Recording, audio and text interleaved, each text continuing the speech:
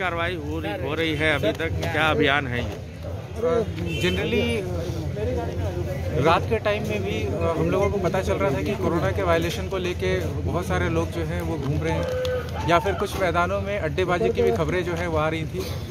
विगत कुछ दिनों से ब्राउन शुगर इत्यादि का जो कंजम्पशन है, वो भी बढ़ा हुआ था। तो ये एक ज्वाइंट ऑपरेशन आज के दिन में सिविल एडमिनिस्ट्रेशन और पुलिस एडमिनिस्ट्रेशन ने शुरू किया है, जहाँ पे हम लोग बाइक से निकले हैं।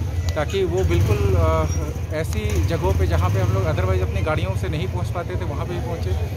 प्लस हमारी गाड़ियों को देख के बहुत सारे लोग जो ये असामाजिक तत्व वाले थे, ये एक्टिव हो जाते थे और अलर्ट हो जाते थे और उसके बाद फिर भाग जाते थे। तो इसीलिए फिर ये मुहिम चलाया गया कि हम लोग भी बाइक से रहें, ताकि अगर वो भागने की भी कोशिश करें तो हम लोग डेफिनेटली उनको चेज़ करने की भी शक्ति में रखें। तो इसके तहत अभी हम लोगों ने अ, दो तीन ऐसे पाए हैं दो तीन ऐसे अड्डे वाली अड्डेबाजी वाली जगह भी हम लोग को मिली है। और अभी आगे और अभियान चलाने के लिए हम लोग अग्रेतर क्षेत्रों में जा रहे हैं। तो एक जॉइंट ऑपरेशन है और होपफुली अगर इस तरीके के ऑपरेशन चलते रहेंगे तो लोगों को थोड़ा डर रहेगा और इस तरीके की अड्डेबाजी की समस्याएँ आती रहती हैं इसका निराकरण हो जाएगा।